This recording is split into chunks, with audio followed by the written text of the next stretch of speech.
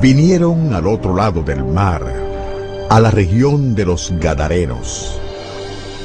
Y cuando Jesús salió de la barca, un hombre poseído de un espíritu malo enseguida vino a su encuentro.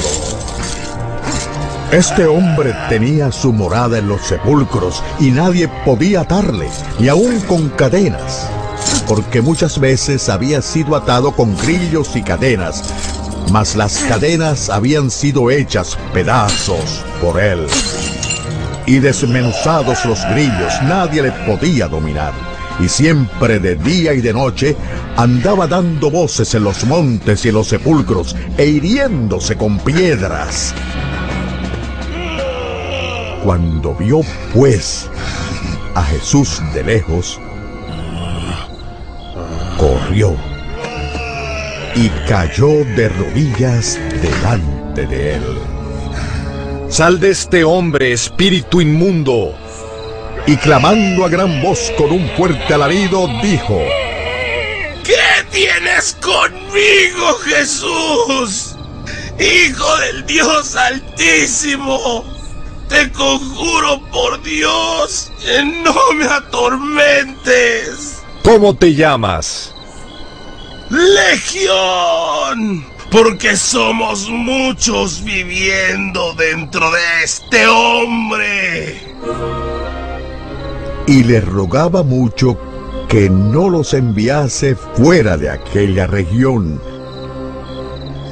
Estaba allí cerca del monte un gran hato de cerdos paciendo, y le rogaron todos los demonios, diciendo, ¡Déjanos entrar en esos cerdos! Y luego Jesús les dio permiso y saliendo aquellos espíritus inmundos,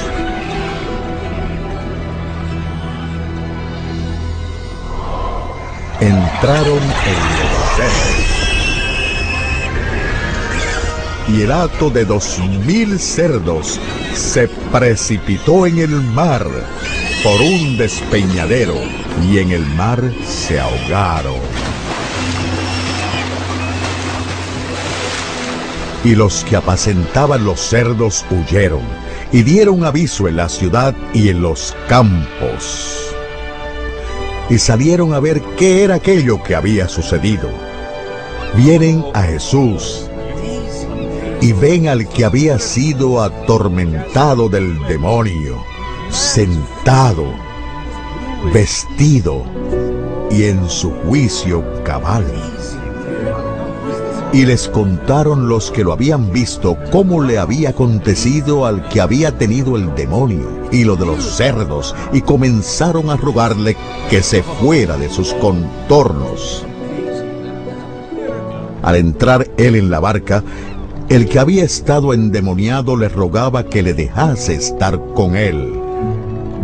Mas Jesús le dijo, No, vete a tu casa, a los tuyos y cuéntales cuán grandes cosas el Señor ha hecho contigo y cómo ha tenido misericordia de ti.